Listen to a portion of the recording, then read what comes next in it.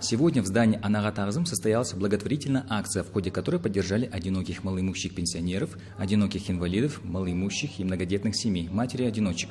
Вся работа областного филиала Общества Красного Полумесяца производится благодаря волонтерам, которые во время режима чрезвычайного положения на свой страх и риск спешат совершать добрые дела. И это внушает надежду на то, что мир не без добрых людей.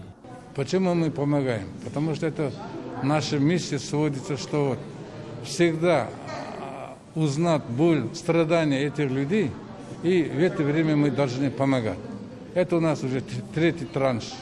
Первый транш был 27 марта, а второй транш был 10 дней тому назад медицинским работникам, то есть младшим и средним.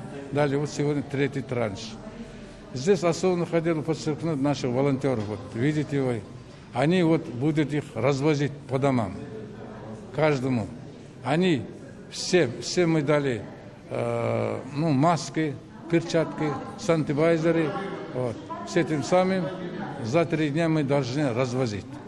Было много благодарных за неравнодушие и поддержку. Так одинокая пенсионерка выразила признательность волонтерам.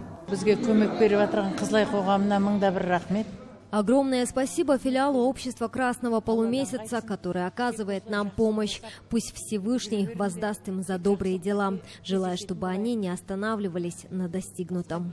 Также общественники окажут материальную помощь 100 ребятишкам. Она будет приурочена ко Всемирному дню защиты детей, который отмечается 1 июня.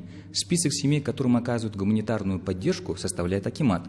Всего же, по словам директора филиала областного филиала Общества Красного Полумесяца, ежегодно благотворительная организация помогает 3 миллионам обездоленным.